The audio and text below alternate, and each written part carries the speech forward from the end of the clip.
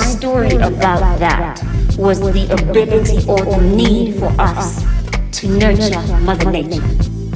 The need for us to be mothers of things that we do not feel necessarily instantly connected to. And that's nature.